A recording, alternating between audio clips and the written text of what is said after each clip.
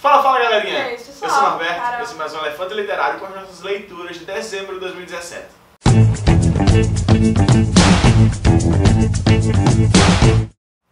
Então, tudo bom, pessoal? É o seguinte, a gente...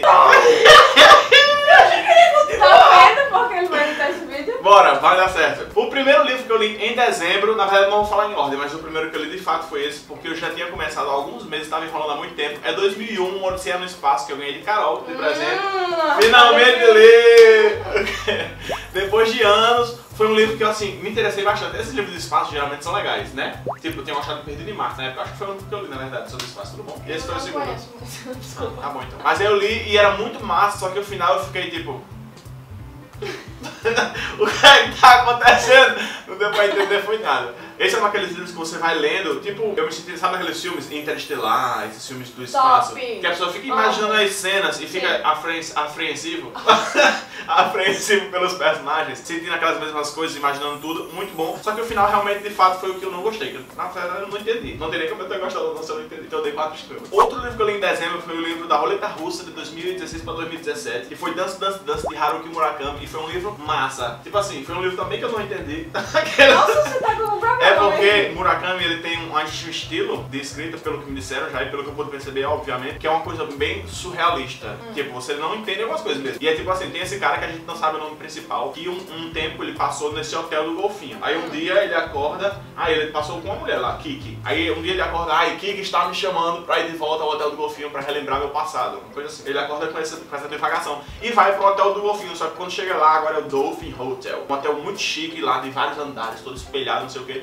E ele faz, ai, isso aqui não é o que eu conhecia. Não tô me sentindo, não tô sentindo nenhuma ligação com isso. Só que todo mundo ali dentro do hotel não quer falar sobre o hotel antigo, não quer falar sobre porque é uma coisa nova agora, tem Ok. tipo mistério. É treta, né? Tem treta no meio. Tem. Só que aí, minha gente, Tem. vocês não estão preparados porque começa a aparecer coisas que vão se desvendando desse mistério, pessoas que vão morrendo, gente que vai aparecendo. E tem um tal do Homem Carneiro. O Homem Carneiro é o personagem principal do livro anterior, pelo que eu pude entender. É uma quadrilogia. O primeiro é Ouça a Canção do Vento Pinball, 1973. Depois é aí Caçando Carneiros e esse que eu acabei de ler. Aí pronto, esse personagem de Caçando Carneiros é confuso, tá vendo? Ninguém tá entendendo. É, é que, Ele- onde ele- é que dança aí? Pois é, ele encontra esse homem carneiro lá nesse hotel, não me perguntem o que é. Aí ele fala assim: agora sua vida está muito sem sentido, as coisas não estão tendo conexão, não sei o que. Agora você vai ter que dançar conforme a música, dance muito, não sei o que. Eu pensei que ele ia dançar de fato, mas dançar é tipo Sim. deixar a vida levar e ele fazer as coisas conforme devem ser Arrasou, feitas. É massa. Não, essa é massa, só que você não entende algumas partes, de fato. Não tem como entender. Mas é um livro muito legal, acho que também tem quatro estrelas. Outro livro que eu li, eu tinha começado também há muito tempo no projeto de Thalita, do Talitando, Golem e o Gênio. Golem e o Gênio eu passei quatro meses pra ler esse livro. Eu parei em 78%, tipo assim, aí quando eu peguei de novo, voltei pra 73%, botei uns dois capítulos pra poder entender o que estava acontecendo e continuei a leitura. É um livro massa, foi um livro favoritado, cinco estrelas, que eu não sei porque eu demorei pra, pra né, continuar. É, tem, tem dessa, né? A pessoa demora, demora, demora e do nada e. pega e diz que livro massa, porque eu Ah. parei, né? Tipo assim, e é uma trilogia, ou é uma quadrilogia, é uma série, sei que sei disso, é o primeiro volume. Amade, ele é um gênio, que é o Jin, aqueles gênios da Arábia, não sei o quê, de fogo. E Shava é uma golem, golem que, foi criada pra servir às vontades do seu mestre. Aí acontece um bocado de treta, eles se encontram em Nova York e vão viver diversas aventuras. Eu pensei que era um livro muito aventureiro, assim, mas não é. Tipo, é muito contando a história deles, sabe? Você conhecendo os personagens mesmo, e as relações interpessoais. Tem uma treta, claro, Hum, obviamente, né? Uma pequena aventura. É um livro, enfim, perfeito, favoritadíssimo, 5 estrelas. Gostou mesmo? Gostei, amei. Tu amou? Eu.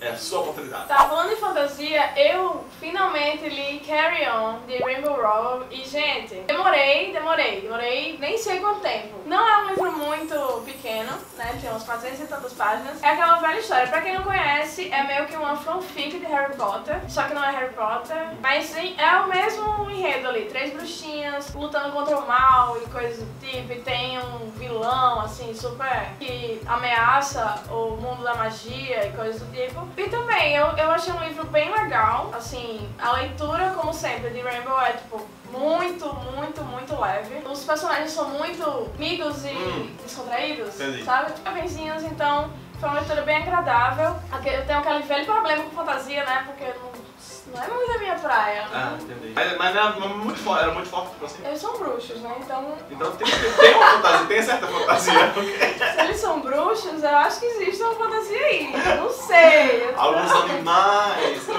mas foi, foi muito legal. Eu não sei nem o que falar mais, eu, eu- foi uma leitura legal. Não foi assim, o melhor livro da minha vida, mas foi uma leitura agradável. Sim, como eu acabei de dizer, eu li também em dezembro Ouça a Canção do Vento e Pinball 1973, que é um livro só, mas são duas novelas de Haruki Murakami, publicadas naquela edição maravilhosa da Alfaguara, que é metade de uma com metade da outra, um degradê. São livros que, assim, eu não entendi também. Aqueles... Não, eu tudo entendi. Assim, não, não entendi a história, tipo assim, não entendi o propósito. É porque Hum, os livros não sei. fazem muito sentido, tipo assim, é uma coisa muito rasa, muito leve, mas vale, tipo, pelo, pelo que eu vi as pessoas dizendo, vale pela experiência de conhecer as primeiras obras de Haruki Murakami, tá entendendo? É, dá pra perceber, os personagens inclusive não tem nome, o principal. E você meio que consegue perceber que é o mesmo, a mesma pessoa que vai, tipo, evoluindo desde o do primeiro até o, o Dança, Dança, Dança. Ele- Eu dei três estrelas e meia mais por essa experiência, né, de conhecer, de saber, tipo, como ele foi construindo a característica marcante dele agora, que é essa coisa que ninguém entende. Não é doido isso. Eu acho. Deve ser escreve uma coisa absolutamente. É, e eu, eu fiquei, era interessante mesmo começar a ler pelos melhores e depois voltar pra esse. Só que Tá. fiz ao contrário, mas enfim, deu certo. Sempre certo você, né? Em dezembro eu também li um livro de poemas, poesias, de Daniel Cavalcante, é Um Moi Diverso. Geralmente eu não leio muitos livros desse estilo, mas quando eu leio sempre tem alguma coisa legal no meio, que a gente acha, né? Tipo, eu tenho preguiça de ler, mas quando eu pego tem uma coisa que me interessa. E foi a mesma coisa que aconteceu nesse livro. Teve alguns poemas que eu marquei, algumas passagens que eu fiz umas marcações que é, tipo, muito interessante mesmo, que a pessoa para e pensa, vixe, refletir um pouquinho, só que no geral não me chamou muita atenção. Fora a edição, que é muito bonita. É bonito mesmo. É lindo, tem Inclusive, alguns o brilhos. Daniel é daqui de Natal, né? Não- É. Acho que não mora aqui, mas ele é daqui de Natal. Daqui, eu fui morar fora e, tal. E a edição tá muito, muito, muito bonita. A gente recebeu na- pelo caixa postal. Eu peguei pra ler em dezembro um livro maravilhoso chamado Amor Plus Size, de Larissa Siriana. Já ouviu falar? Amor Plus Size foi um livro YA, na verdade foi o único YA, um livro que eu li em dezembro, mas vou dizer que foi o melhor. Mas foi um livro que eu também dei 5 estrelas. É um livro que, assim, eu não tinha muitas expectativas, embora as pessoas sempre falassem que eu devia ler, porque era muito bom. Mas aí, quando eu comecei a ler, eu simplesmente não conseguia mais parar. Eu terminei num dia o livro, porque é muito legal, é essa mesma coisa. Sempre que tem um livro que você lê um personagem que você acha que ele é um amigo seu, é pra mim já é o melhor livro. Puta merda, você, a leitura se torna mais prazerosa. Pronto, aí em 2017, olha, eu li poucos livros nacionais, mas os dos que eu li, quase todos foram legais, super interessantes, principalmente os YA. E esse livro de Larissa Siriana é super importante, porque ultimamente eu tenho lido muitos livros também, tem uma representatividade legal, como tem nesse livro, que a personagem principal, ela não se sente bem consigo mesma, e aí ela recebe uma proposta pra ser modelo plus size. E ela, tipo, avacalha, porque é top! Peraí, calma, calma. Avacalhar pra gente é uma coisa positiva. É, é posi- que qualquer coisa. A gente né? fala e o povo faz avacalhou? Avacalhar aqui é positivo. Foi muito bom, e, tipo, ela dá uma reviravolta na vida dela, a autoestima melhora tudo mais, ela vira uma pessoa 100% e o livro termina muito positivamente. Gosto. Enfim, é um livro, eu achei perfeito, 5 estrelas. Aparentemente a gente abandonou os livros nesse canal, mas eu trouxe aqui, esse aqui ó, a carinha enorme, Tartarugas até lá embaixo, de John Green. E esse livro, o que falar sobre esse livro é o seguinte: muitas pessoas, né, tem meio que um preconceito com John Green, não sei o que, não sei o que mais lá. Já li outros três livros dele e esse me pareceu, logicamente, mais maduro, né, porque ele, ele- Depois de tanto tempo. porque ele escreveu anos depois. Basicamente, o milionário foi julgado por alguns crimes de corrupção, alguma coisa assim, e ele sumiu, fugiu e ninguém sabe dele. E aí, a nossa protagonista, junto com a melhor amiga dela, tem a ideia de, ah, vamos tentar solucionar esse caso para ganhar recompensa, porque a gente tá indo pra faculdade e a gente precisa de dinheiro. Basicamente isso. E aí, o filho do, desse cara, desse milionário, é meio que um amigo de infância da protagonista, só que eles nunca mais falaram, não sei o que e tal. E aí, a história vai, vai girar em torno disso. A sinopse em si não é uma coisa tipo, caramba, eu preciso ler esse livro agora, porque, né? Só que eles criaram esse, toda essa, né, essa trama clichêzinha em cima de um, de um protagonista que sofre de ansiedade. Então, a gente vê muito do ponto de vista dela, porque como a pessoa sofre, como isso influencia na vida da pessoa, né? Tipo, todas essas preocupações, e a pessoa fica nervosa e ansiosa. Então, foi muito massa ver pela visão dela, Hum. sabe? De, de ter um protagonista falando sobre isso. É um livro super curtinho, tem quantas páginas? 200 e alguma coisa. 260. É um livro super rápido, acho que dá pra ler em um dia se a pessoa fizer só isso da vida. Aquela. É um livro realmente muito mais maduro que os outros. Não é aquela coisa tipo, ai, um jovem apaixonado Hum, e não sei o que, sabe? Tipo, é uma coisa que ela vai meio que discutir esse tema, que eu acho que é um tema importante, porque, enfim, hoje em dia, nessas correrias da vida, né, muita gente tá tendo ansiedade e coisas desse gênero. Então, é muito, foi muito legal essa experiência. John Green, assim, eu não, não sou fã, né? Hum. Mas foi um, um livro muito bacana de se ler. Foi top. Gente, uma coisa que aconteceu em dezembro foi que eu li muitos contos, muitos três. O primeiro conto que eu li em dezembro foi o conto Todos Nós Vemos Estrelas, de Léo Oliveira, do canal Uma Editora Tomás e de Larissa Siriani, né? Em conjunto, obviamente, sendo os dois. E vai contar a história seguinte. Lisa mora com o pai e a... Lisa Elizabeth é a personagem principal da gente, é uma jovem. Ela mora com o pai e a madrasta, só que ela não tem uma relação muito boa com a madrasta. Assim, é, é meio, sabe? Pisando em ovos. E ela não tem uma relação muito boa com as pessoas também. Ela não tem uma vida social muito ativa, passa muito tempo em casa, lendo seus livros, ela ama ler, fica lá na vida dela de boas. Tá. Daí ela tem um crush por uma menina que estuda com ela, só que ninguém sabe disso. Tipo, tem uma amiga dela que sabe na verdade, mas na verdade esse não, não é muito desenvolvido no conto, eu acho. Tem, tem, tem a ver, mas agora que eu me toquei.